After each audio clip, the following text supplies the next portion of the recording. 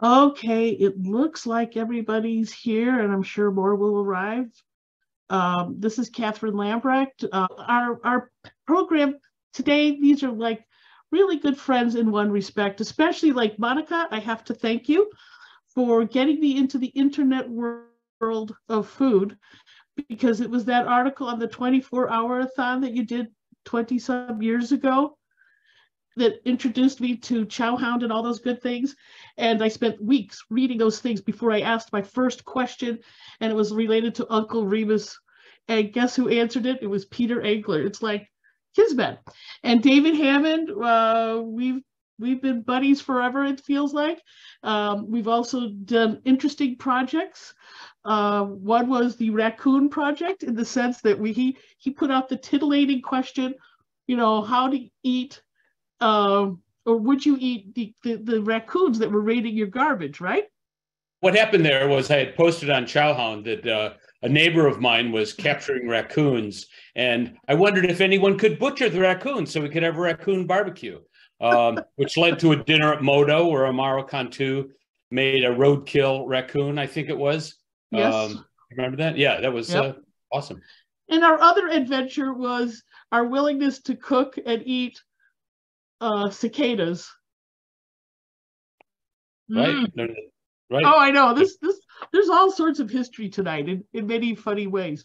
But I'm going to turn it over to you guys because you've written a terrific book, which the cover is right there on the screen. But you wrote a terrific book about all these iconic foods that people, when they come to Chicago, really ought to give a try. I agree. Thanks so much. Should I um should we show our faces for a second? Your say, faces are being shown right now. Oh, okay, great. And or so, would you like to be side by side?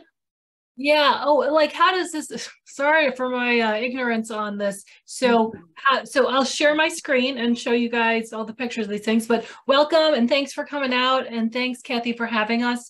Um, Dave and I started this book what three years ago.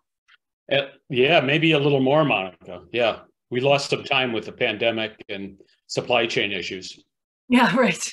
Um, and um, it was it was it started because um, for my jobs at the the Tribune and WBEZ in Curious City, um, I had been often asked to do stories about the origins of certain Chicago foods. And as I did one after the other, I remember one day um, having lunch with our, our friend Bruce Craig, who is a hot dog historian and, uh, and a food historian in general. And, and he said, you know, you should really put this into a book and he said, uh, University of Illinois Press has started an imprint where they want to do sort of Midwest culture. And I said, dude, I do not have any time. I got kids who say I never spend time with them. I got editors who are, you know, nipping at my heels for stories. I can't do this. So um, I, I ran into Dave at a party, and Dave, what did I say? You said, "Oh my God! If only I could find someone to help me write this book." I think it went something like that. Yeah. Yeah. Right. And then you said, I think I know who could do it. And so we um we put together the proposal and uh, University of Illinois Press said, all right. And um, then it was just a matter of coming up with uh, a sort of a round number of dishes, creating criteria around it, and then cutting it right down the middle, like a Solomonic thing, like who gets tamales, who gets Italian beef. Um, and and so that's how we started on this thing. We, um, I, I, went back to a lot of my previous reporting, and um, and then I did some some more reporting. I wanted to make sure people were still alive and things were still what they were. Um, and um, we each put together our 15 chapters. Um, hardly ever. I think we didn't we didn't see each other during almost the whole writing process, did no. we? Well, pandemic, yeah. right? I mean, I was cowering at home, so I didn't see much of anybody. You know, into Kathy, I seem to have lost the uh, slide screen. Is that just off at the moment? Uh, on now. Well, I figured I put you highlighted you both, and yeah, it has seemed to have gotten lost. It might be it, it dropped off, and we just have to recover it. There okay. we go. okay, good. Yeah, there you go. Right, so, I, something kind of interesting regarding what Monica was just talking about, interesting to me at least. Um, that Monica had done a lot of research on all these foods or many of these foods. And so, and it, she got the assignment, so she had first pick. And Monica chose some of the more obscure foods that kind of attracted me to, although I was neutral, I could have gone with anything. So I, I ended up getting some of the more common foods, which again, fine with me, like Italian beef and Malort and so on. But what's interesting to me is when we go on television, Monica, and talk about this stuff, people want to know about Italian beef and Malort. I mean, I, I would think perhaps culinary historians would be more interested in uh, Gampong chicken wings and sweet steak and so on.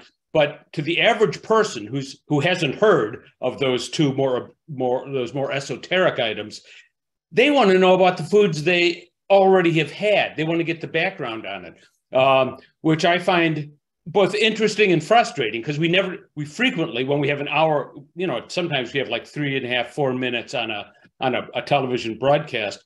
We can only hit the one, you know, the top ones that people want to hear about, and those seem to be the more common ones. Oh well. Well, for you guys, you're you're you're you know at the uh, 500 level, so right. we're not going to dwell on the um, super common ones. So let's get this party started. Um, let's start with one of my favorites. Um, at, at all these stops, they always ask us, "What's your favorite?" We have Puerto Rican. My my Puerto Rican grandmother helped raise us.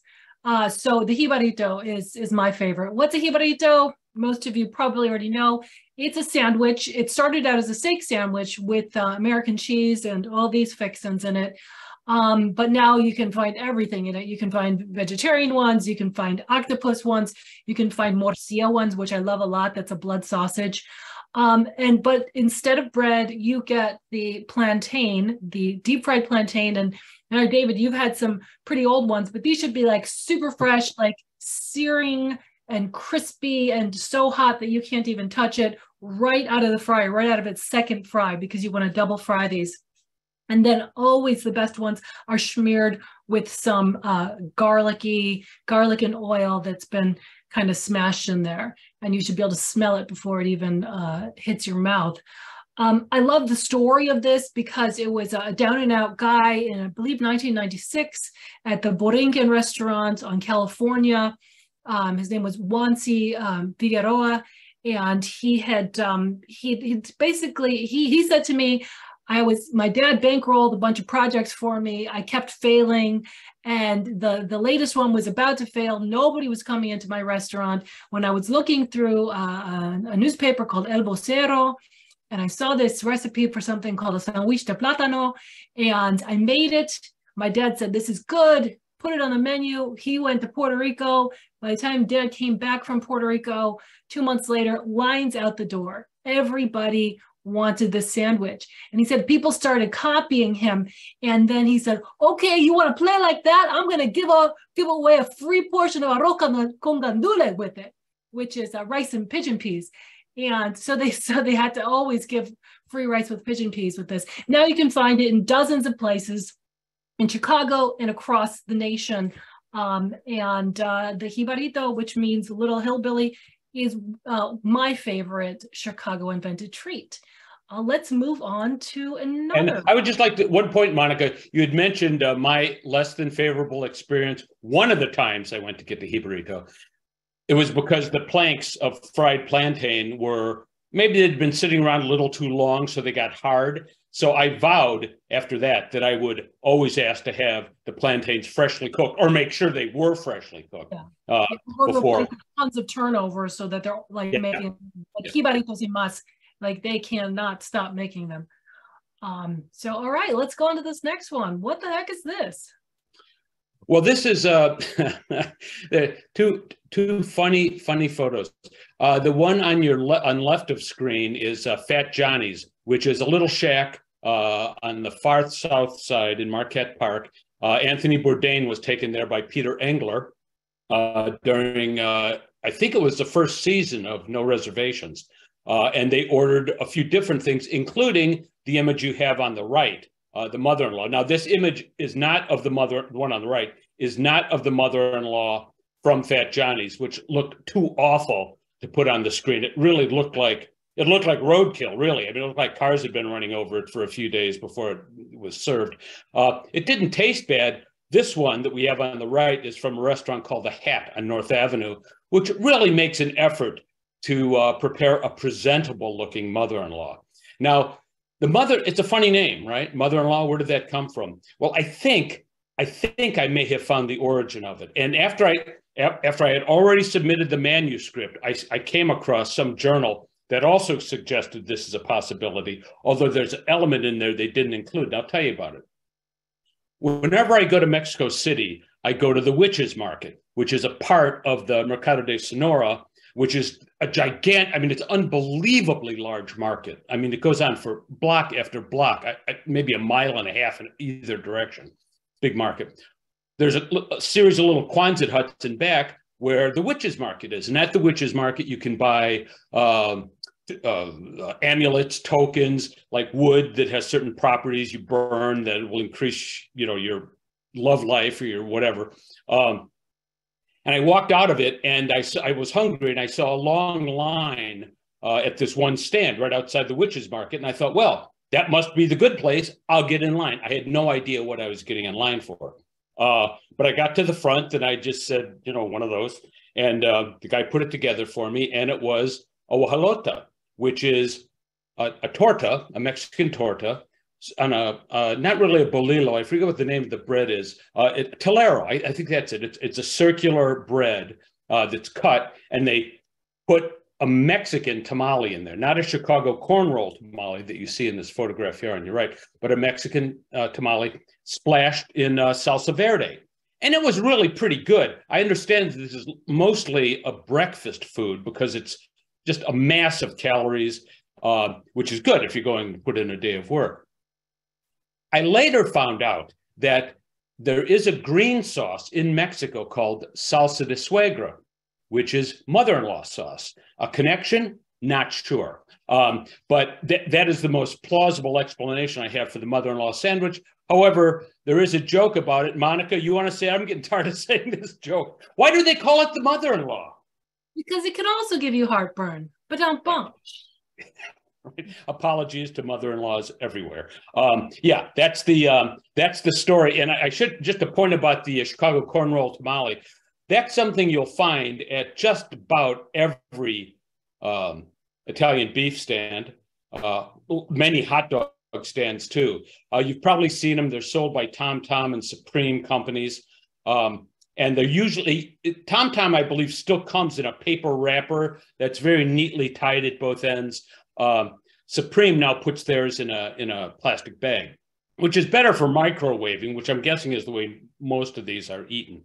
Um, and it, yeah, it's it's not like the beautiful little tamales that are made by abuelas in the back rooms of Mexican restaurants. These are extruded by a machine, cut into like little cigars, put in the bun, much like a Chicago hot dog, and then dressed much like a Chicago hot dog with the chopped onions and the chilies and the tomatoes. And they add chili, which wouldn't normally be on a Chicago hot dog, but actually makes this particular sandwich, which is extremely carb heavy, edible. Yeah, I um I, whenever I bite into one, it's just, you know, I'm I'm searching for the snap of the dog and instead you get the gush of the tamal. Um, one of my favorite places for for corn roll tamales used to be Veterans Tamales over on ah. Archer. And you can still see the sign on the side of the building. The ghost sign is still there. Um, okay, so let's move on to one uh, that is a favorite in Chicago. So Pizza Puff, um, strangely, I've been living in Chicago my whole life and I never had a Pizza Puff. And but I loved loved the story behind them. It turned out um, Elisha Shabazz was uh, an Iranian, a Syrian Iranian who moved to Chicago at the turn of the century. And what did he? Um, what did, what was his business? He sold uh, push carts for hot dogs to people. And what his great grandsons told me is he would take an old uh, baby buggy, he would put some burners in it, and that became a hot dog push cart. He also sold the equipment that hot dog sellers would uh, would would use, and he would go around to all of his um, clients and say, "Okay, you got to pay me for the rental of your stuff this month." One day, he got to one of the clients' houses, and uh, the wife said, I'm sorry, he's dead and I have no money to pay you for this rental. Um, but what I can give you is this recipe for corn roll tamales. Um, and he took that, he incorporated it into what he sold to his hot dog customers, and he started a company called Iltaco. No, it's not a place where you get sick on tacos, but we got all the jokes ready to go. It, um, it is the Illinois Tamal Company, and that is still their top seller. No, it's not their top seller. It was their top seller for a while, where they would uh, sell these corn roll tamales to the hot dog stands until one day in around the late 60s, um, one of the sons or it was the grandson who was going around and delivering hot dog equipment, which now would be sold to standalone places, no more baby buggies. Um, said, you know, these new pizzerias are just killing me. What can we do to compete with the pizzeria? And he said, well, let me let me put my thinking cap on. Let me think about something. So at the Illinois Tamale Company, they started, um, or Tamale Company, they started, you know, working on different ways that they could make pizza. And what they came up with was take a flour tortilla, put some tomatoes and probably the same meat that they were putting in their tamales um, inside there, maybe some cheese, wrap it up and see if we can um, get that so that it won't explode in a deep fryer so that it will actually like cook and come out and be delicious. He said it took a few years, but they found something that would do that. And it's, it's amazing that today it still looks like someone just took an old flour tortilla and wrapped it the exact same way that first guy probably did it and you know with stuff that's overlapping in areas they just don't care um, and and it's a huge seller. Um, when I was trying to get the story out of the great grandkids during the pandemic, they kept saying, call back next week. We're in the middle of this big lawsuit uh, with a company that's trying to use our name. We can't talk right now. I'm like, okay, I'll try calling back next week, next week, next week. Finally, they completed the lawsuit and they were able to tell me their story. To the victor goes the story. Could it have been someone else? I don't know, but they're the last people making it and they got a really good story. Um, and and and they won the lawsuit which they say proves that they're they're the folks who did it last. Um, but in in the process of, of writing the book i said you know what? I got to actually try this. So i did. I you know went down to the local hot dog stand by wrigley field. I can't remember what it's called. Um, and i got it and i was like wow nobody told me that when you deep fried these um the, these basically flour tortillas they get sort of crispy and and and flaky, like almost like a puff pastry. And so I had it with you know a salad and some wine. You're not supposed to do it that way. I have been told that the totally classic way to eat it is covered in mild sauce. But a lot of people think everything should be covered in mild sauce. Um, but that is actually a delicious way to eat it. All right. So um, so Dave, do you want to go Italian beef or Malort? Uh, we can. Um, why don't we just br- briefly go through Italian beef? You know, I I had my first a pizza puff when writing the manuscript for this book as well, because I had mistakenly thought that that uh, pizza, pizza, puffs were the same as pizza rolls by Totino. You know, yeah, I thought the same yeah. thing. Yeah. And I had had those before, so well, I don't need to try that again. But I, I like the pizza puff quite a lot, and I think it's cool that they're putting different ingredients in the in the puff now, so that you can have it with. Oh my gosh, you've got like you know thirteen different flavors, and right. the first one was pork, but like all the other enduring Chicago classics, now the default is beef. Mm-hmm. Suitable for all people who aren't vegetarian or vegan. Um, the, the Italian beef, we can deal this pretty quickly, as I think that most most in the audience here are familiar with what an Italian beef is. We had our book launch party at uh, Al's Number One Beef on Taylor Street which I am fairly convinced. I mean, finding the originator of these foods is no easy task because success has many fathers and mothers, right? A lot of people will claim to be the inventor once the sandwich is achieved or the, the food has achieved popularity. I'm pretty sure it was uh, Al Ferreri at Al's number one beef, or what became Al's number one beef, that came up with the idea of selling the Italian beef sandwich, making it a menu item. Now, the sandwich itself, and Al Pacelli, who's, uh, or excuse me, Chris Pacelli, whose father worked with uh, Al Ferreri, said that uh, it, this probably started, and others have said this as well. It probably started with peanut weddings in Little Italy in Chicago, where because these were immigrants, like my my grandfather, who came and settled on Taylor Street for a little while when he came from Naples, uh, didn't have a lot of money for weddings. So what they did, they had these pe- what were called peanut weddings, and some people say that peanuts were served there. Other people say no, it was only because they only had, you know, a little bit of money to buy food. I suspect that latter reason is the more accurate one. So they didn't have a lot of money. What did they do? They had a big piece of beef, they had some bread, sliced the beef really thin, put it in the bread, put a bunch of gravy on it, which incidentally probably increased the weight of that sandwich by two or three times, literally. I mean, it just becomes much heavier when you put gravy on it, uh, or jus, if you call it that. Um, and they served it. And this guy, Al Ferreri, started selling beeves as a front for a gambling operation. Uh, Al, uh, sorry, Chris Pacelli said that it was his father who started working for Al. And Al was, uh, he had, he, as Chris Pacelli said, he did this, that, went to jail for a little while, came out, wanted to start a business. He had some buddies who, he, who Chris Pacelli referred to as half-assed mafia guys who uh, wanted to gamble. That, that was something they, they wanted, that was their pastime but they couldn't do it in, in the open because, of course, like now, it was illegal. So they needed a front. So Al Ferreri started making the beef sandwiches as a front for a gambling operation.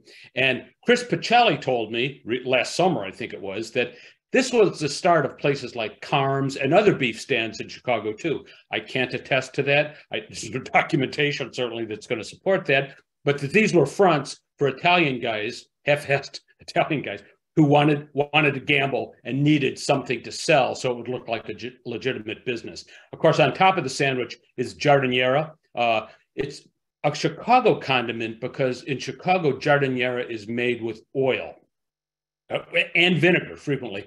At Al's number one, they just use the oil, no vinegar. And the vinegared version of vegetables is called sotto aceto in Italy. There was such a thing for centuries before. It was a way of preserving vegetables. Add some oil, last a little longer. It also adds kind of a tangy touch, like a pickle. Uh, but at Al's, they just use uh, well, they just use oil and they just use celery in it, which is kind of, and and some and some pepper, uh, spices, of course. But celery is the main vegetable, which I happen to like. Their uh, their giardiniera is some of my favorite. By the way, when did Al start selling?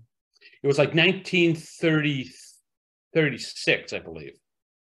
Thanks. Is celebrating their 80th this year? Oh, um, yeah, right. 85. 85. 85. Um, and um, and and so you know, Kathy, you shared with me the name of a scholar. Was it Tony? I want to say Bucatini. Oh, oh, to- Tony Buccini, who spoke to our uh, my former colleague and friend um, uh, Kevin Pang for his Italian beef episode, and he posited that this was actually a, a, an old Neapolitan recipe interesting theory and that and the people from a village where he found a cookbook that had something similar to Italian beef in it that a lot of them were in Chicago. I, I tend to think like, well, then why wouldn't they have brought that to any other part of the United States where Neapolitans oh. or people from the village went to? Mm-hmm. Unclear. Um, well, but, and, and, and in fact, if anybody wants to, I, I, there's the to, the Kevin Pang version. But Tony did an extended talk on this right here on Culinary Historians several months ago. And the video's up there as well as the podcast. A very bright and knowledgeable guy. Yeah. So I mean, it, it could have had many fathers, but um, but I, I, love all these stories. I love the mobster story that hey, it was a front for for a bookie operation, but we made so much money on this, and we didn't want to go to jail, so we kept the right. sandwiches. We got rid of the bookie. Go back to jail. Yeah. back to jail. Um, okay, so let's move on to another one of mine. Um, so who knows? Well, okay, we're not in a room together, so maybe you can put up your hands if you know what this is. Can we put up? I don't know how you put up hands. There is a, there is a label on it, Monica. Oh darn it! Okay. Okay, so this is the Akutagawa. You put the uh, pronunciation on A, Akutagawa. So there's a guy named George Akutagawa who used to go into a joint called Hamburger King. Some people call it Chester's because a guy called Chester bought it after the Sato family. Um, some people call it Sonia's because Sonia bought it after Chester. It's still there today, owned by a guy named Jacob, who we ran into yesterday, and he has renamed it Rice and Bread. So it's this little place in Wrigleyville from when Wrigleyville was a very Japanese neighborhood. After, um, so when I wrote about this, I took it as an opportunity to talk about how so many people were forcibly relocated after forced internment to Chicago because they're like, you're not going back to California to hang out with your pals and uh, plot God knows what. You are going to go to these new places. And they had to sign something that said they would do their best to become Americans and not congregate in a whole bunch of Japanese. So what did the Sato family do? Um, they said, oh, well, we're opening a place called Hamburger King. Doesn't that sound American? We're going to have hamburgers and french fries, but we're also going to have um, some little pickles, sometimes cucumber pickles, the daughters told me, and we're always going to make a lot of rice. But what did they do the rice? They put gravy on it. They became like rice and gravy in a bowl for 25 cents, a big bowl of it uh, you could get to really stick to your ribs. And the daughters of the of the inventor told me, you know, this was a place for working class families. This was a place where the Cubs managers would come every morning with their cigars and the newspapers and scream about the columnist said about them. But it was it was a place for everyone and their father would wake up early at 5 a.m. to get breakfast ready for folks. But he also had a, but he also, he would work in the mornings and he'd watch the Cubs games two doors down at the Nisei Lounge. And sometimes the daughters would have to drive him home. But he had a pal named George Akutagawa. They said he was a businessman. He'd come in in suits. He was a Hawaiian, a Hawaiian Japanese, because um, oh. those had come here too. So the loco moco theory is very clear here. And he um and he'd say, you know, hey, I've had a lot to drink and I'm really hungry. Can you can you make me this thing? Can you take some stuff that you've already got, green peppers, onions, hamburger meat, but also bean sprouts, and can you crack an egg over it and give it to me? Well, George Akutagawa would eat this every day, and folks started saying, "Hey, what's he eating?" And they said, "I don't know. We'll just call it the Akutagawa." And everybody started ordering it. And even though the restaurant has gone through four owners today, it's still a huge seller. And other cooks who have eaten at that restaurant have taken it to their places. So you can still get it at the Fullerton, uh, Fullerton Diner, I believe, Fullerton and Ashland. Um, there was another small place in Rogers Park where another cook went. So where they called it the octa, like um, like uh, octopus, the octagawa. Um, and so that was one of the criteria for us, like it can't just be served at one place. And so I believe it was a way to still be Japanese at a time when you were told, stop being so Japanese. And I love that it's still there today. Is it the most delicious thing in the world? Who's to say? I had a plate of it last night, right before the Seder. yeah. Oh, really? That's great. Was it, why do we eat the bitter Akutagawa tonight? Um, so no, why? like if you put some kimchi on it and some uh, gochujang, which they have there now because it's become more of a Korean American place, it's delicious. But I, I just love that, and I think so. So, so the theories are that it might be an echo of Loco Moco, Moco Loco. Loco Moco, I believe it is, yeah. Which is a sort of a sort of a hopple popple. You know, it's sort of funny that hopple popple dishes all have those same sort of names. Gravy um, and rice and a hamburger on top, right? Yeah, I mean, right. Uh, from Hawaii, or the I was thinking it could be a bit of um, an echo of okonomiyaki, which basically means how you like it. You know, just put some stuff in eggs. Um, either way, I love that it, it really represents this time when there was this big Japanese American population in Chicago told not to be so Japanese, but they found some ways to be sort of Japanese. So that's that. Where should we go next, David? Uh, you, you want to do Malort? I mean, just as a, a, quick breeze through that. And thank you, Kathy, for including this uh, advertisement uh, that plays on the kind of traditional knuckleheaded machismo that I think fueled the consumption of Malort for many decades. Um, if you've had Malort, you know that it's a bitter sip.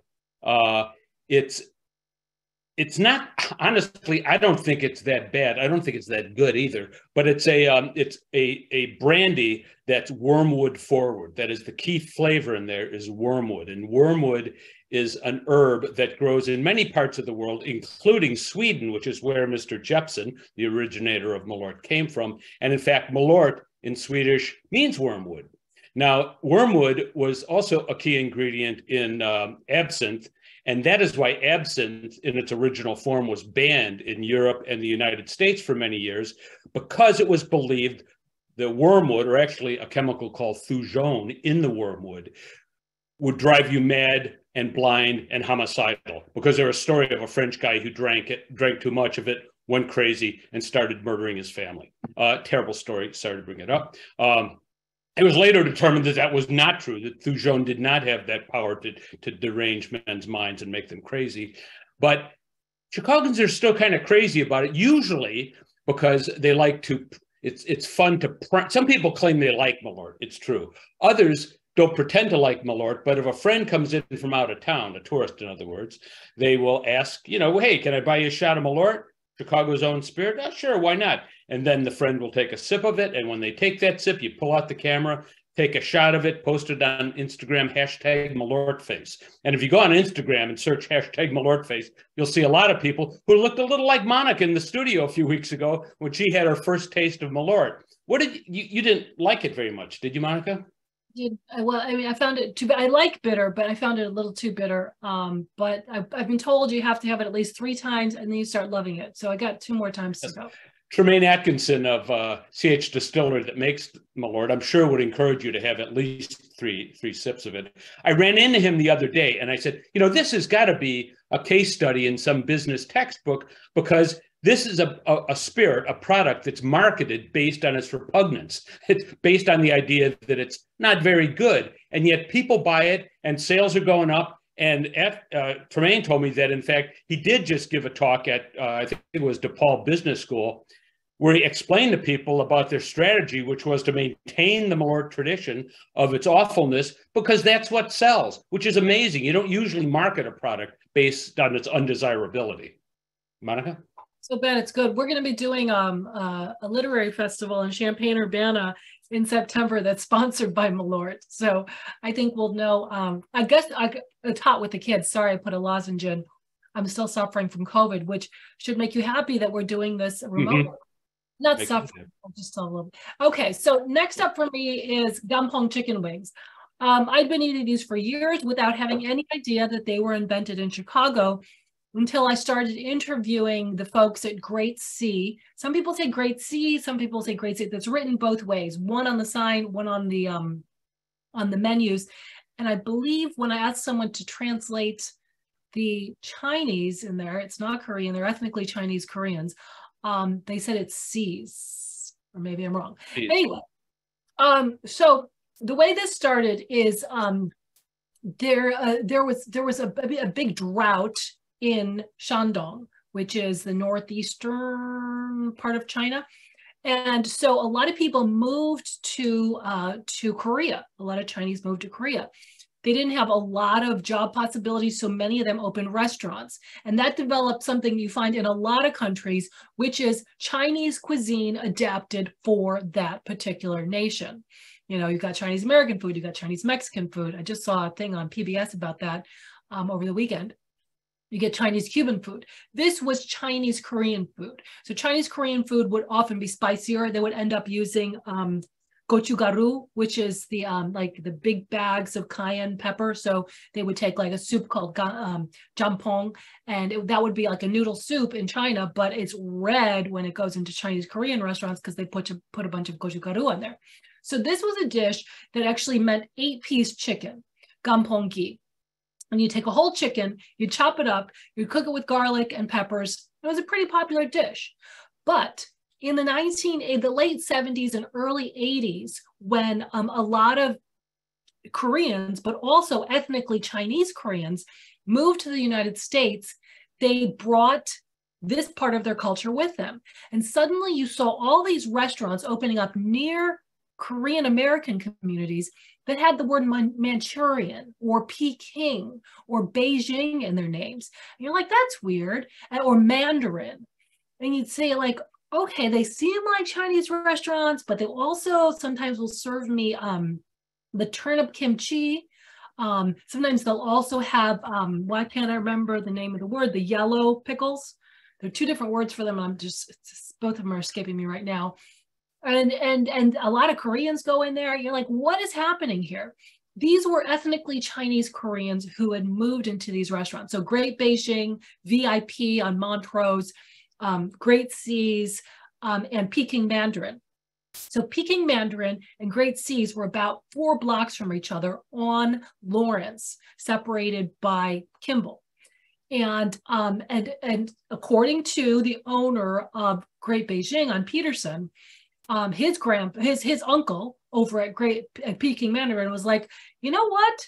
These crazy Americans, when I go to the butcher, they want to charge me all this money for chicken breasts, but they're practically throwing away the wings. What is up with that? We Asians, we love the wings. Why are they throwing away the wings? You know what? I need to save some money. So I'm buying all wings for like a penny a wing. And I'm going to make this dish that we would normally make with eight pieces of chicken with just wings. He started it. He has, you'll notice his, his, this sauce is sort of clear and red. His is more like ketchup, more like barbecue sauce. He started making those wings and then covering it in, in a sauce that was a little saucier, probably made with gochugaru, um, over, and the restaurant's still there at this old diner that he took over and turned into Peking Mandarin restaurant. And then this guy down the way in the family, I can't remember what their last name is, but you guys probably know it. Um, they said, wow, he is doing a bang up business um, with these wings, but they're super messy to eat. So why don't we, okay, they said, why don't we take them, at least this is what the daughters tell me. And um, so it was Sing Sang, Sing, his uncle Kao Sing Sang, who made them at, at Peking Mandarin. But then the the Tao the Tiao family they said, let's take them, let's let's make this sauce a little more like sweet and sour sauce, and let's French these things so that they're easier to eat. That took off like crazy too. And then now you find them all over the country where it's just done with wings. It's sold in Korean restaurants and especially ethnically Chinese Korean restaurants. Um, and, you know, the, the, rest is history. They're delicious. I love them. And, um, and they're Chicago. So, David, what should we talk about next? Let's go down to the simple uh, Maxwell Street Polish down there. All right. You could hardly imagine a simpler sandwich here. It's a Polish sausage, pork, not beef. I talked to Jim Christopoulos, uh, the current owner, and uh, I, I, believe the grandson of the original Jim, of Jim's Original, which was once located on the corner of Halsted and Maxwell Street, dead center in uh, the Maxwell Street Market. And I remember going to Maxwell Street sometime in the 60s. I went with a buddy to get an old carburetor that he could put in his 49 Ford. And uh, we did find the carburetor amazingly enough. But I remember standing across the street from Jim's and thinking how wonderful it smelled. Mostly, I think, because of the onions that are sitting on the griddle all day long, kind of bubbling along in the fat rendered from the sausage, which, as I mentioned, is a pork sausage, not beef. Uh, there was, as Mon- we do have all beef versions. They do have all beef versions that they sell there. They do, and what uh, Jim Christopoulos said was he doesn't. He he serves it because he has to. I mean, some people don't want to eat pork. Totally understandable. Uh, he thought that the beef version tasted too much like a hot dog to him, uh, so he he prefers in fact, he used to, he said when he was younger, he used to have a double of these, like two two sausages in one bun. Uh, it was still with the onions, just as traditionally was done on Maxwell Street, and sport peppers, which they cure on site at Jim's Original, which is now located overlooking the expressway. Uh, it's about a mile or so from the original Jim's Original. On uh, Union. And, pardon me. On Union. On Union, thank you. Um, and I asked uh, I asked Jim what he thought. Excuse me, Chris, what he thought what his best seller was, and he said, "Oh, undoubtedly the Maxwell Street Polish. That's what everyone wants." And the reason he gave was that like much food could be quick, filling, and delicious.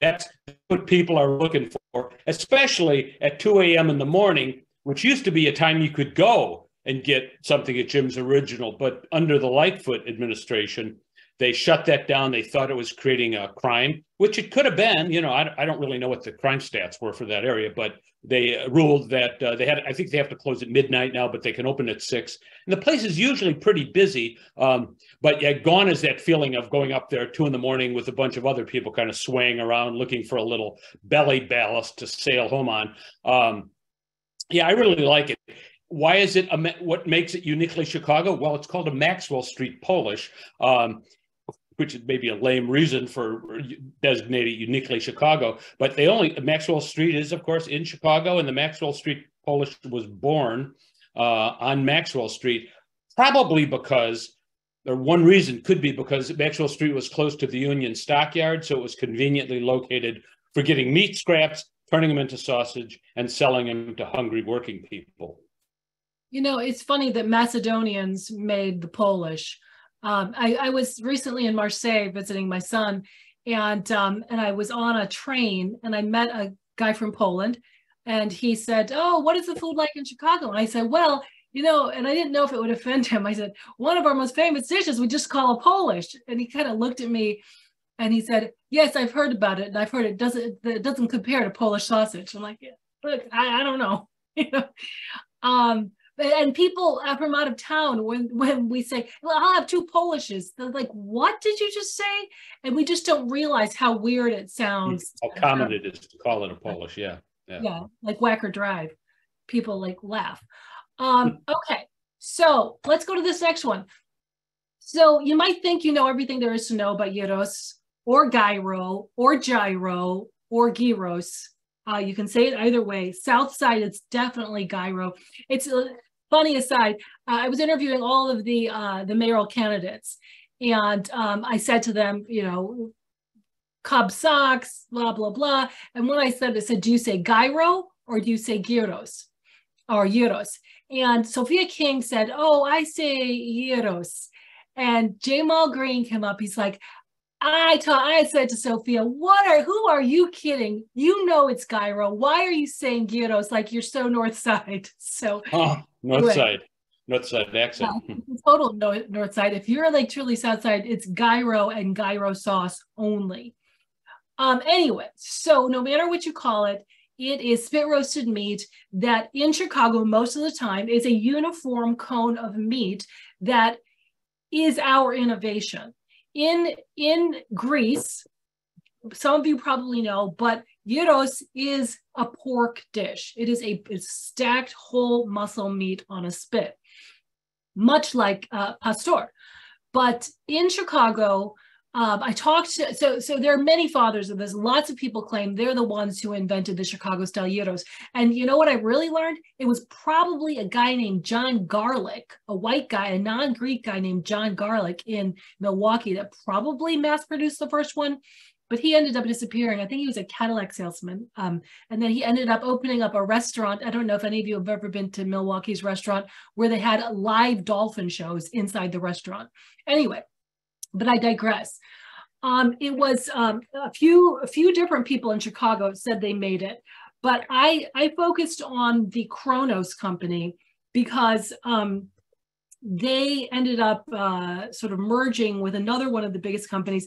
And this guy didn't say that he actually invented it. Alexander the Greek probably invented it when he asked his soldiers to take their swords and spear some meat and turn it over the fire. But um, Peter Parthenis, he was he said i was um he was like i was fresh greek and i was living in uh in uh going to school at uic and i was an engineering major so i would eat at these restaurants and they say hey this uh, rotisserie i've got it's not working and i can't get any good parts. Can you fix it for me? You're an engineer. So he said he kept trying to fix it and fix it. And he said to them why don't i just make one here so he was in his Lincoln Square basement and he perfected the rotisserie for this. And at this time, all the um, restaurants in Chicago had started just making these patties and stacking them themselves in the kitchen. And he said he's, he was selling them from restaurant to restaurant, these, these rotisseries. And he's like, what am I doing? If I sell this rotisserie, I sell it once. But if I sell the cone, I sell it every single week. Because as he was doing these demonstrations, he would show them, okay, here's how to make the cone and here's how to do this. And he said, I could make these better. So he said that it became a specialized thing to get a guy who knew how to stack them.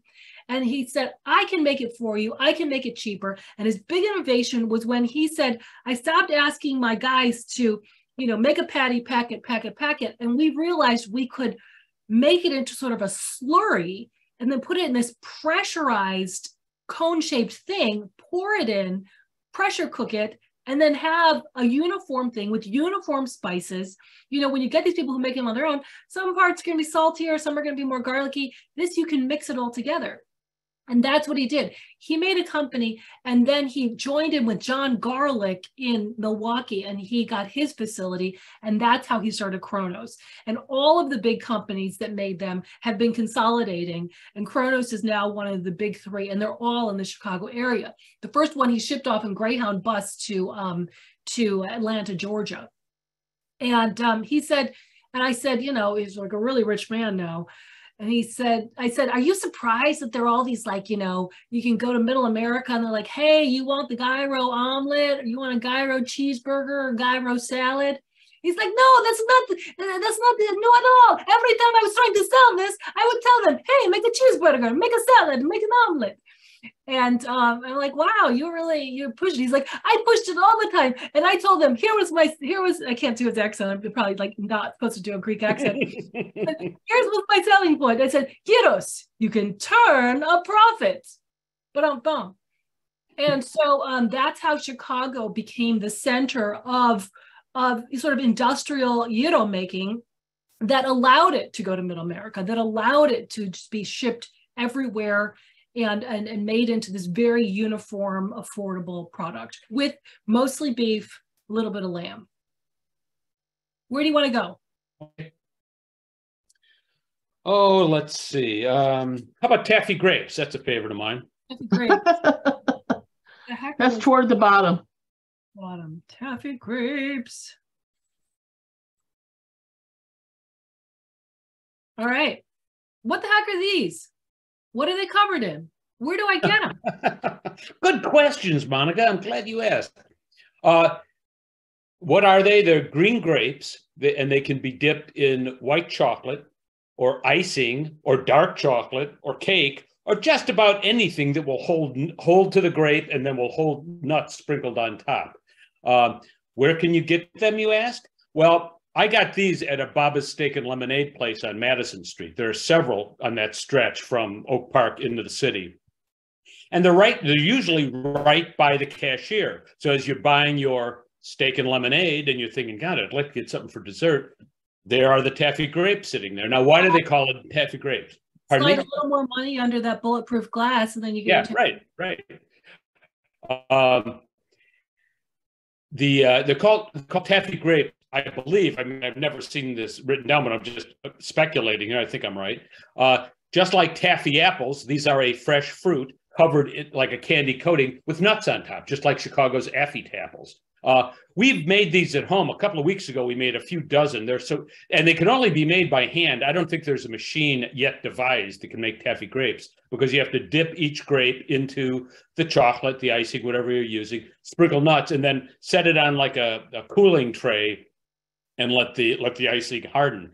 Um, I think they're just fantastic. They they give the illusion of having a healthy snack after eating a, a sweet steak or a, or a basket of uh, Harold's fried chicken.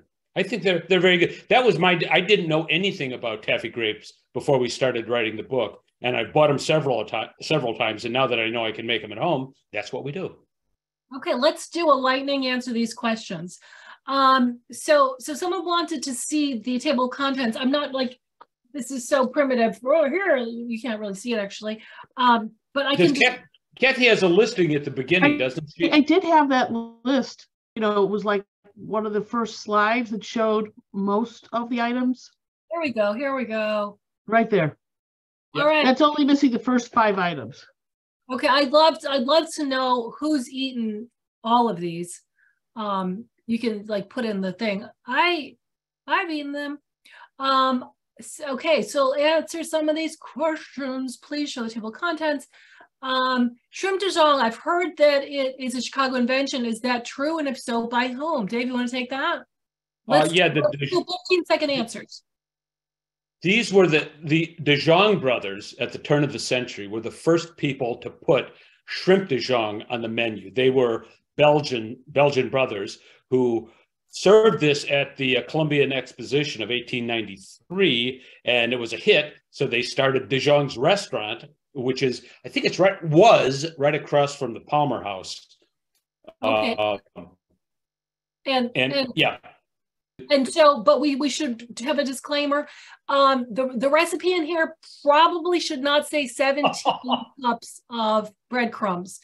Uh, maybe like one cup of breadcrumbs. well, oh no, if what I what I was what I put in the book was what is believed to be the original DeJonghe brothers recipe for shrimp DeJonghe, which, as Monica points out, has a stunning amount of breadcrumbs. Not just breadcrumbs, but like two sticks of butter, a stick of margarine, four, 14 cups of breadcrumbs for like 10 shrimp or something like that. It's- But that was the recipe that allegedly came from the son of the man who served shrimp DeJonghe at the DeJonghe, the chef who prepared shrimp DeJonghe at the DeJonghe restaurant. And uh, it was printed in the Tribune, and that's my story or their story, and I'm sticking with it. Oh, okay, because they've had a test. Okay, I think Kathy, at the next um, culinary historians meeting, you should make the recipe as as stated to see how it turns out. Okay, don't invite me. Jason Holm or Heim, um, have you heard that Lakeview in the 19th century was a big celery growing region, hence celery salt on Chicago style hot dogs? That's exactly the supposition that I put in the book. That came from hot dog scholar Bruce Kraig. Yes, uh, because of our sandy soil in Chicago, we were an ideal spot to grow celery. Celery was a huge craze uh, around the turn of the century. We made a lot of money. We had the railroads to send it out to all parts. Kalamazoo ate our bacon on it. Um, is that is that the word? They they stole our lunch on it. They became ate, ate our lunch, I think is Ate our the. lunch, right? That's it, that bacon. And now Florida and I believe Texas are the big celery growing regions, but we were that at the time. And some people think, yeah, that's why it's in the Dardanelles too. Um, so By the way, that same area was also a big cabbage growing region. oh, wasn't there Yeah. a town called Cabbage Town, or am I thinking of another? Yes, yes, Okay. but that same area. I've heard the Yodos machine was an engine was engineered and invented as a vert- vertical roaster spit in Chicago, and he lo- now lives in Inverness. That's probably Peter Parthenis. Yep. Um, Marty, all we need is mental therapy. I should try Portillo's and Niles when you come to visit. Okay, that's probably not a question. Love Yodos. You rock. Polish at Portillo's today. Um, such a great book project. Thanks. Peter, thank you. I forgot about Pietro Uno. Um, Kathy, are you seeing regarding regarding the origins of deep dish pizza? What did you discover? Perhaps if we had a document showing Pizza Uno's original owner and a contemporaneous newspaper article describing that owner. Oh, Peter Regas. Do you want to do you want to pop Oh, on? yeah. Can we unmute Peter for him to uh, give us a brief brief? Yeah, yeah, I'll, I'll ask him to unmute. Just Okay.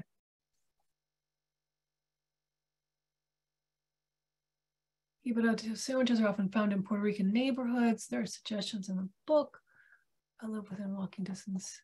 Support your local cardiologist. Yes, these are often um, very, um, very not so healthy dishes. Well, high calorie, and I think a lot of these were made for working people. You know, people who have, want to grab something at lunchtime and then go back to manual sort of work, not sit at a desk all day like we do. I mean, but also a lot of them are very, very sweet. And what we found is that actually sugar is uh, terrible for your cardiovascular health. So for some, for instance, the um the lemonade and steak and lemonade, it is the sweetest thing. Like it's lemonade, and then on top of that, which two syrups do you want to go in it? Um, and You can so add two syrups. They told Oh, me I, I only added one. I, if only I had known. oh yeah, well, I got to add two syrups, and I was not able to have more than two sips. That's Um, about yeah. My um, teeth hurt. Mhm. Pe- Pe- Peter's Peter Regas is on is uh, ready to talk. okay, Great. Tell us about the origin Peter. of the dish.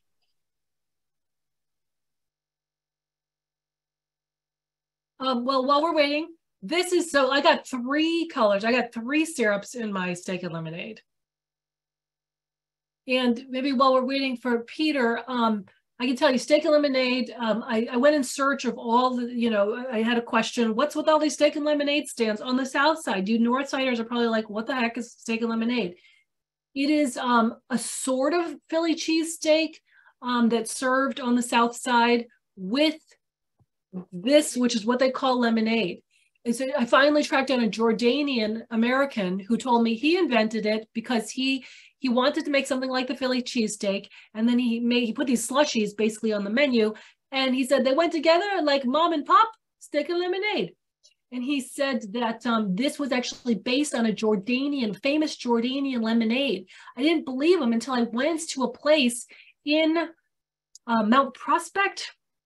I believe I had written about it in Axios, and there they had it. It was called Limo Limonana, and it was a famous Jordanian lemonade, also icy like this, like a Slurpee, but it had mint in it. The extra flavor was mint rather than um, rather than what you have here. Um, so it's super popular. They even have them in Kentucky. They have them in all these other states. They're like, yeah, Chicago style steak and lemonade, right? And then you get Nor- Northsiders who are like, Chicago style, what? Well, um, yeah. It's it's super interesting. Peter, do we have him on the line, producer? He's here. I have a feeling he might have a problem with his microphone. Okay. But he he has done quite several extensive talks for culinary historians. They're online, we on YouTube on the origins of uh, Chicago and New York and other types of pizza. So if we can't catch it, but Peter, do try to talk. By the way, there was somebody also interested in the gym shoe. Wanted to know what that was about. Right, and we've got a gym shoe. Is it the last one? It's it, no. These are in alphabetical order, so it's up. Oh, I see it. I you, you went past it. Okay, it's two images. Okay, so what's the gym shoe? It's gyros. It's Italian beef and it's roast beef. Um, uh, at one point, it was served cold, and I think actually we have a cold and a hot version here. Um, and most of the, the people who told me that they were first, uh, Palestinian Americans and Pakistani Americans said they were first introduced to it as a, a, cold dish when they took over their submarine stand on the south side. You'll find a lot of submarine places on the south side that are owned by Pakistani, Jordanian, Egyptian, um, or Palestinian Americans. Um, but they have um, modified it so that you take all these ingredients and they're not sliced like a hoagie, but they're chopped up into small bits and griddled until they've got these wonderful brown, crispy edges. Then you pile them onto a toasted um, roll, and then you put on giardiniera, you put on gyro sauce. Do not say gyro sauce because no one will have any idea what you're talking about. Gyro sauce and sometimes some cheese. And if you're super lucky, and they have some time and they want to take a risk with their deep fryer, they will make you a super crispy gym shoe. That's what it's called, super crispy gym shoe. Peter Engler first told me about this. I didn't think it existed, but I finally found a place that would make it. And it sort of intersects with the Chicago style egg roll. They take all these ingredients, minus the lettuce, I think, roll it up in a giant uh, flour tortilla, gingerly lower it into the fryer, and it comes out as a egg roll this big, and then you, they slice it, and it is the most delicious, most flavor packed egg roll you've ever had in your life. It sounds like a chimichanga. yeah, yeah. Basically, it's a, it's a giant chimichanga full of gyros, roast beef, and Italian beef. And Monica, on, on the right there, is that Karachi style chopping? Right. So I interviewed um, Abdul Wajid, and he said um, he said that this is i said i said how much would you say the modern day gym shoe is a testament and it was influenced by karachi style cooking i said maybe 50% he said 95% i think that's what i have mm. here mm. Um, and because there is a cooking style in in Karachi called katakat. In fact, you can go to your local um, South Asian store and you can get katakat spices.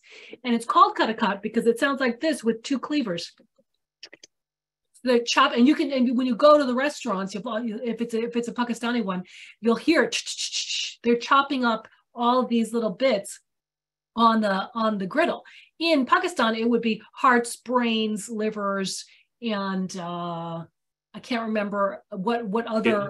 great it's our hearts, brains, and livers. Um, but here it's gyros and roast beef and Italian beef. Um, and it's it, but the same same concept. And he says he puts katakat spices on his, and it's delicious. Why is it called a shoe? The same guy who who invented steak and lemonade, he he he can sometimes stretch a story. He said, "I invented it." And I said, really? When did you invent it? Uh, 2007. A guy comes through my drive-through late at night. He says, hey man, I am high. Oh, he, he was high on weed. He was high on weed. He says, hey man, I need something with three meats. He says, oh, what if I throw three meats at a gym shoe? Will you eat that? He says, sure, man. So, so I made him the gym shoe. And I said, that's a great story. And so I checked with Peter Engler and he said there were sightings way before 2007. So turns out I really couldn't use that story, but I do love recounting it because it kind of shows that you're going to get a lot of people who tell you, hey, I'm the inventor. In fact, I was fooled with the big baby on that one. Um, so, so Peter Regas, obviously audio not working, but he did put a response. He said, Riccardo was the sole owner when it originally opened in December 1943. Additionally, Riccardo, Riccardo's, yeah. Yep. Uh, additionally, in an article in December 1943, Chicago Sun, it describes him training their pizza cook. There you go. Riccardo. And I found an article by my friend um, Paul Galloway where he interviewed Ike Sewell, who kind of cops to the exaggeration.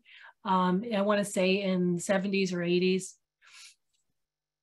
So, so Ike, so a lot of people believe it was Ike Sewell who invented it, and he kind of like said he did. But in this article, it's like, okay, yeah, maybe it was, you know, Rick Riccardo. Um, all right, so let's see what other questions we have. Audio. There, there is a question. What is the Palmer House flavor in the rainbow cone? Ah. Mm-hmm. That is um that is cherry and and walnut or cherry and pecan. Right. I'm gonna check my book. Um and boy, does the family, does Lynn Sapp strenuously deny that it has anything to do with the Palmer House. It's almost as if the Palmer House came and said, um, hey, we think that you guys stole this from us. So what about the Palmer House? For many people, Palmer House, uh, the Palmer House layer of the ice cream, including me, is the most delicious part. Um, why can't I remember? I believe it's cherry and pecan. Um, but most Chicagoans assumed the flavor was connected to the famous downtown hotel that was opened in 1875. But Sapp says the flavor arrived with her grandfather when he showed up in Chicago from New York via Ohio and has nothing to do with the hotel. It's a cherry walnut ice cream. And one interesting thing she told me was that the original um, rainbow cone actually had a black walnut flavor that was very much in style at the turn of the century, but uh, it got it got ditched. Sorry, walnut maple. Um, but but she said that he he made it because um, there was really nothing out there in that part of Beverly at the time, just cemeteries, but lots of people who'd go to the cemetery on weekends and then needed a snack on their way home. And he wanted to make a very special snack. Um, and the only way he could load that many flavors onto one cone was to use a spade that he custom made to kind of slap it on there rather than putting the balls on there. Can I get in a question or a comment? Sure. Of course. I so I read your book, or at least half of it, while dealing with the election the other day. And when I turned to the chapter on Chicago style egg rolls, you gave me a surprise. I did not expect there's a jerk chicken version of Chicago egg rolls, which means I have to now go eat one to check it out for myself. But how long have these been around? Oh, that I'm not sure, but I don't think it's been very long. But I think the most distinctly Chicago style egg roll, it also served at Three Kings, and I include a picture of that place on Madison Street in the book. They do an Italian beef egg roll, which has to be the most distinctly Chicago style of egg rolls to put put beef in there. I don't I did not order that when I was there. They I don't know if they put giardiniera in it or not. I kind of doubt it. But uh, yeah, you could. I mean, an egg roll is kind of a. You can put anything in it that you care to: ham and eggs, uh, pizza stuffing, whatever. But by the way, the the picture for that is the top one. Oh yeah. Right now, mm-hmm. if you want to just quickly show the facade, which was fascinating, and then I grabbed this off their uh, website. But it's it's it's this wonderful idea that you can stick anything in that anything. Um, right. Natalie Moore, my old colleague at BZ, every time the pot roast egg rolls are on uh, special at this place on the south side that I keep meaning to go to, she's like, Monica, it's the pot roast egg roll day. Um, so someone asks, when did I get COVID? I am not sure when I got it, but the first time I tested positive was on Saturday morning. I had, I had a scratchy throat on Thursday, so I tested totally negative. But then by Saturday morning, um, it was testing positive. Luckily, I feel fine, but um, but it, it's not fun. Um, so what other questions do I have? Well, no, you know what? I have a, a, great idea. Why don't they go and buy the book? Yes. that is a marvelous idea, Kathy. Well, I don't want to start any um, yes. panic, but we're really running out. We only we only um, printed 2,600, and the publisher said we are running out fast, so they've got to do a second printing. I think you could still order them on Amazon. You might still find them in stores. A friend went to Barnes and Noble; they were sold out. So now, um, somebody here just asked why there weren't Vietnamese foods, but you had a criteria that you were working with. They had yeah, we, to be invented here and served at multiple restaurants in that version. Can because you, we didn't want to just do like the, a restaurant special. If we were focusing on restaurant specials, we'd have thousands of different restaurant specials to deal with. We wanted food. Any, do you consistent. know of any Vietnamese foods that were invented in Chicago that are served in other places? Because we would love to add them. Yeah, the definitely. That's a good challenge. Yes. Oh, it's, well, we can tell you some of the ones that we'd love to put in the next edition. Um, where's the map of where to find it? Um, well, that's a really great idea. We were thinking of doing an app or some sort of interactive or web thing that would be like, ding, ding, ding, ding, you're within, you know, five minutes of a really good hot dog or something. Um, but uh, we really did this on a shoestring budget, as you may notice from our, our pictures that were all taken by us, sometimes with telephones. From, uh, they look very authentic, though. Well, thank you. But yeah, once we once we we let's say you know this does well, maybe they'll let us like kind of up our game, and maybe someone suggested a coffee table version. A coffee table book, right? Someone said tours um, that where we could do tours of it, and maybe we'll be able to do sort of a better version. Oh, did we all lose our? Here we go. Um, but so so so uh, David, do you want to talk about some ones we might add to the next edition? Oh, well, after I had, uh, after the book came out, I got a call from uh, Rob Lopata, who I met on LTH forum. And he said, I guess he had he had read some or seen one of the television appearances or read about it or something. He said, "Have you ever heard heard of the Wapachosa?" And I had not heard of the Wapachosa.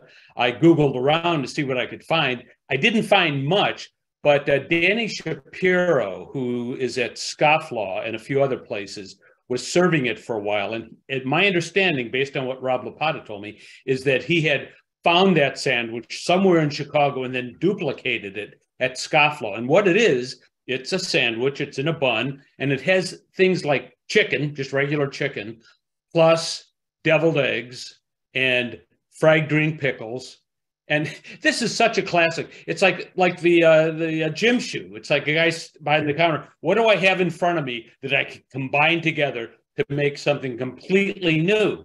It's that's, it sounds like that's what the Wapachosa is. Now, it, I don't think Wapachosa. My Spanish isn't good enough to figure out to remember whether that's actually a word. But Wapa would mean a very a, a handsome woman, I believe. Um, so Wapachosa is maybe like a pretty girl or something. I don't know. But yeah, it's called a Wapachosa. That would be one that we will have to investigate before we include it in the book. But Son of atomic cake. So Louisa Chu took us to task. She said, "Why didn't you put atomic cake in there?" And actually, it, it's sold in many places around town, and I'd considered putting it in there. Um, uh, the super taco, which is um, a pita bread uh, that's grilled, and then you put um, ground beef and then lettuce and tomato and gyro sauce on it um, brownie maybe. So if you guys have any ideas for other ones that we should. Uh, yeah, definitely. Definitely. But, hot uh, link. Hot link. Since you did the jerky, since you did the rib tips, hot links really belong. They're almost like sister and brother. Yeah, I mean, in our Axios newsletter, we have an area where we um, tell you all the other little stories that you should uh, you should be reading that week or that day, and it's called Tips and Hot Links. But um, boom. Yeah, they. I, I think it would be hard pressed. We can investigate it surely, but hard pressed to prove that that was a Chicago original sausage, the hot link. In other words, I mean they they have them in a number of different states around in the union. So yeah. Yeah, That- sure that- that. that's okay. It was just a thought. Oh yeah, no, that, thoughts are good. I mean, that's worth worth investigation. For sure. Another big one we talked about was was um, mild sauce, and uh, and uh, we were going to go on WBEZ this this Friday. I said, look, I got COVID, I can't go in there. But Natalie Moore, my old colleague who was going to interview us, she's like, oh, I want to talk about mild sauce. I quote her in it. I don't think she likes that I have attributed the birth of mild sauce to the West Side because she's a South Sider, and there's a little tension there. Um, but I say that a West Sider was the first to create a proprietary version. Uncle Remus. Yeah, Uncle Remus, and you know Gus Rickette, who started Uncle Remus, um, who who came up here in the second wave of the Great Migration, had nowhere to live, and uh, was able to start this business um, with a friend who he said was into illegal activities, and then his friend died, and he was able to do the whole business. Um, he he had Uncle Remus, and it wasn't called Uncle Remus. He had this great story in there that um, after the riots, um, uh, after Martin Luther King's death, he went into a sign store, he went in to get a sign, and he'd found that there was a sign that said Uncle Remus. And the guy who had been thinking of getting it was like, uh-uh, I do not want that sign. I don't want anyone coming and telling me that I shouldn't have this sign. So he's like, I'll buy it. And that's how we got I'll name my store Uncle Remus. Yeah. Mhm. Um, so I think that might be it. And um, and Penelope, thanks for coming out to volumes. I'm really hoping I didn't get anyone sick there, but I swear I tested right before I got there, and uh, so far so good. I've talked to a few people who were there, and they seem to be okay. I'm still Well, fine. And then I'm so glad, even though we screwed up on the date, we did the right method of approach using Zoom Yes. instead of a live library mm-hmm. presentation, which would have had to get canceled or modified or God knows what, right? Yes. Yeah. Thank you much, everybody. Thank you, Thank you. David. Good Thank you, talking, y'all. Monica. This was fun. This Thank was great Becky. fun. Guys. All right. Good night, everybody. Yeah.